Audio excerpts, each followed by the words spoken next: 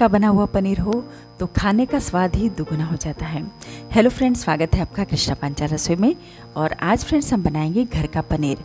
बहुत ही आसान है फ्रेंड्स पनीर बनाना और मिनटों में बन के ये तैयार हो जाता है। तो चलिए फ्रेंड्स बनाना शुरू करते हैं। तो यहाँ पे फ्रेंड्स मैंने एक बर्तन ले लिया है और इसमें फ्रेंड्स हम डाल देंगे थोड़ा सा पानी। और पानी को फ्रेंड्स हम थोड़ा सा फैला लेंगे। तो इससे क्या होगा फ्रेंड्स जो दूध है वो इसमें चिपकेगा नहीं।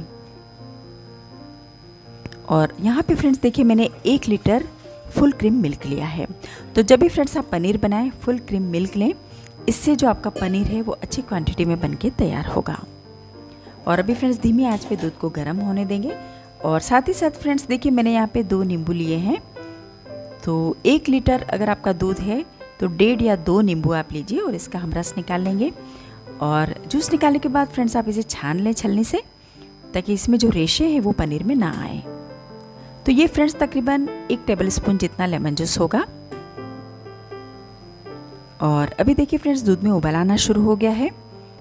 और यहाँ पे फ्रेंड्स हमें लगातार इसे चलाते रहना है। तो तकरीबन फ्रेंड्स, एक मिनट हम कंटिन्यूसली चलाते रहेंगे, ताकि दूध में जो मलाई जम गई है, वो अच्छे से दूध में मिक्स हो जाए। और पनीर बनाने के फ्रेंड्स कई तरीके हैं। तो दूध को आप एक तो नींबू के रस से भी फाड़ सकते हैं, आप चाहे तो सिरके का यूज़ भी कर सकते हैं और अगर फ्रेंड्स आप चाहें तो दही या छाछ से भी दूध को फाड़ा जा सकता है। लेकिन सबसे जो बेस्ट तरीका है वो नींबू है। इससे आपका जो पनीर है वो बहुत ही नेचुरल, सॉफ्ट और बहुत ही बढ़िया बनता है। तो मैं आपको सजेस्ट करूँगी कि आप नींबू का ही इस्तेमाल करें। और अगर फ्रेंड्स आप मिठाइयाँ बनाना चाहते हैं तो उसके लिए भी नींबू का इस्तेमाल करें। इससे आपका जो पनीर सॉफ्ट बनेगा और मिठाइयाँ जो है वो भी बहुत ही बेहतरीन बनेंगी। और अभी फ्रेंड्स देखिए, दोबारा से फिर से उबालाना शुरू हो गया है दूध में।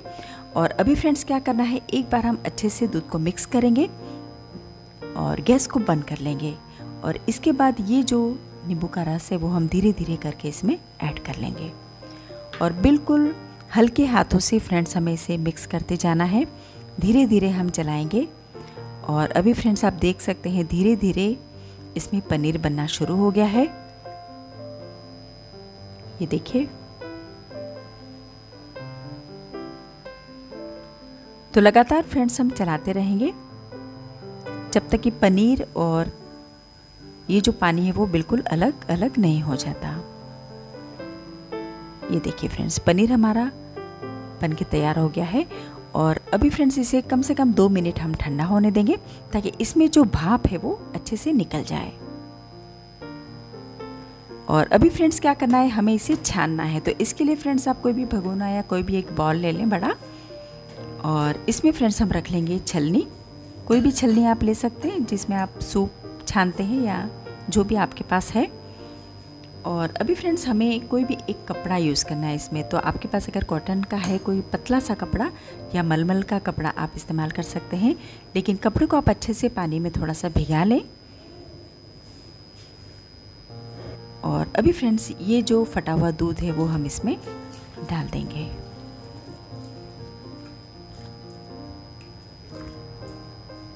तो अभी आप देख सकते हैं फ्रेंड्स अभी भी कितना गर्म है। तो इसमें फ्रेंड्स हम एक या दो ग्लास जितना ठंडा पानी ऐड करेंगे। तो यहाँ पे फ्रेंड्स आप फ्रिज का पानी ऐड ना करें, मटके का या नॉर्मल वाटर आप ऐड करें इसमें।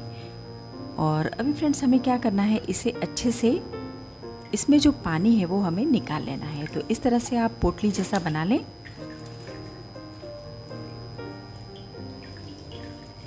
और तीन से चार बार फ्रेंड्स हम इसे इस तरह से प्रेस करेंगे। तो बहुत ज़्यादा हमें पानी निकालने की ज़रूरत नहीं है। तीन से चार बार अच्छे से दबा के जितना हम पानी निकाल सकते हैं, निकाल लेंगे।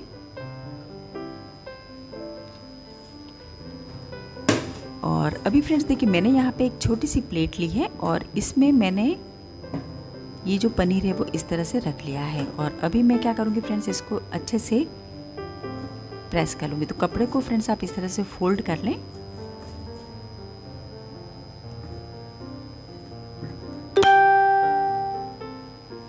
ये देखिए, इस तरह से फ्रेंड्स हम प्रेस कर लेंगे, ताकि इक्वली जो पनीर है वो हमारा बन के तैयार होगा। अच्छे से स्प्रेड हो जाएगा। और अभी फ्रेंड्स हमें क्या करना है, एक कोई भी बर्तन आप ले लें, उसी साइज़ का। तो मैंने यहाँ पे एक छोटी सी पतीली ली है, इसको मैंने रख दिया है इस पर और इसके ऊपर फ्रेंड्स आप कोई भी एक या डेढ़ किलो का वज़न आपको रखना है तो आपके पास जो भी है कोई भी डब्बा भी रख सकते हैं या सिलबट्टा जो भी आपके पास है वो आप इस पर रख सकते हैं। और इसके बाद देखिए फ्रेंड्स, एक घंटे के बाद हम अभी पनीर को चेक कर लेते हैं।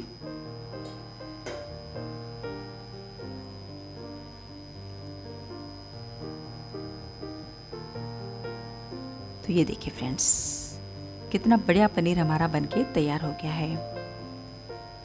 ये देखिए। अभी फ्रेंड्स हमें क्या करना है? पनीर को हम कम से कम आधा घंटा पानी में रखेंगे। तो यहाँ पे भी मैंने नॉर्मल वाटर लिया है मटके का और इसमें ये पनीर हम रख लेंगे। तो इससे क्या होगा फ्रेंड्स? पनीर जो है वो हमारा काफ़ी वाइट बनेगा सॉफ्ट बनेगा और बहुत ही मॉइस्ट बनेगा। तो ये देखिए फ्रेंड्स 30 मिनट्स के बाद अभी फिर से हम पनीर को चेक करेंगे।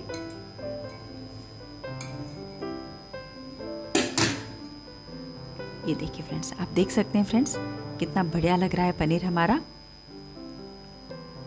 ये देखिए। और अभी फ्रेंड्स हम इसे मन चाहे शेप में कट कर लेंगे। तो अभी फ्रेंड्स आप इसकी मिठाइयाँ बनाना चाहते हैं तो आप रसगुल्ला बना सकते हैं, इसकी रसमलाई बना सकते हैं, इसके चमचम बना सकते हैं, क्योंकि ये पनीर फ्रेंड्स बहुत ही सॉफ्ट है और इसकी जो हमारी भारतीय पारंपरिक मिठाइयाँ हैं वो बहुत अच्छी बनेंगी इससे। तो यहाँ पे फ्रेंड्स मैं बड़े बड़े क्यूब्स में कट कर रही हूँ।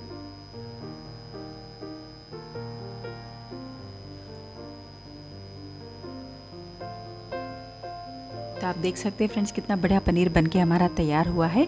और एक लीटर में फ्रेंड्स ये डेढ़ सौ से दो सौ ग्राम पनीर हमारा बनके तैयार हो जाता है। ये देखिए फ्रेंड्स। ये देखिए, कितना अच्छा पनीर बनके तैयार हुआ है। और कितना वाइट है सॉफ्ट है और कितना गीला गीला सा भी है। ये देखिए, कितना स्पॉन्जी है। तो इस पनीर से फ्रेंड्स आप सब्ज़ी भी बना सकते हैं, जो भी आपको पसंद है। तो फ्रेंड्स, पनीर हमारा बनके तैयार है। आपको मेरी रेसिपीज़ अच्छी लग रही हैं तो मेरे चैनल को लाइक कीजिए सब्सक्राइब कीजिए शेयर कीजिए और इस तरह से एक बार आप पनीर बना के ज़रूर ट्राई करें और अपने अनुभव मुझे ज़रूर शेयर करें। धन्यवाद।